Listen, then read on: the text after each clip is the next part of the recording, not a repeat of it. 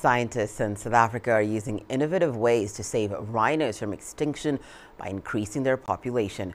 For decades, the number of rhinos has been dwindling at an alarming rate. Poaching and loss of habitat are among top threats to endangered species. Reporting from Cape Town, CGTN's Travis Andrews now tells us how scientists are working to turn that around. Rhinos continue to be a leading tourist attraction in many African countries, including South Africa but they are also under threat. Poachers kill them for their horns. Their numbers have been declining across the continent. To reverse this alarming trend, veterinarians in South Africa are using assisted forms of reproduction to help increase rhino numbers.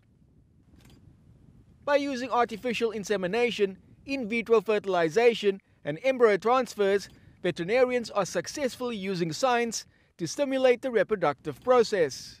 Growing a rhino in a, in a laboratory is uh, test tube babies, like what they do in humans, and uh, and also with induced pluripotent stem cells, is using uh, a little piece of the ear, and then you grow um, a cell culture from that.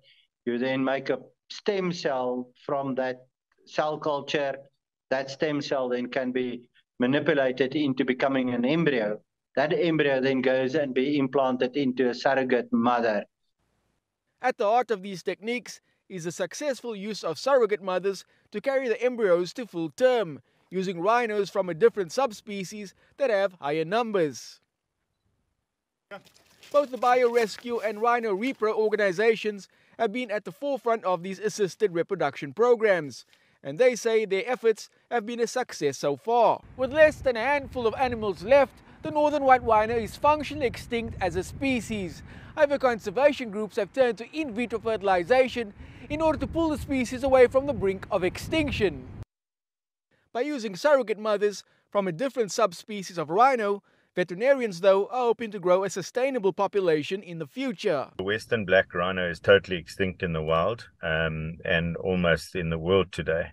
So the northern white rhino is a subspecies, obviously, but barring the two females that are in Ol Pejeta in Kenya, and um, you know the the the semen that's been stored in San Diego is being kept on ice, and these scientists that are trying to implant eggs into into the female southern white rhinos, which are more abundant. For now, it may be too late to use assisted reproduction to save species such as the western black rhino.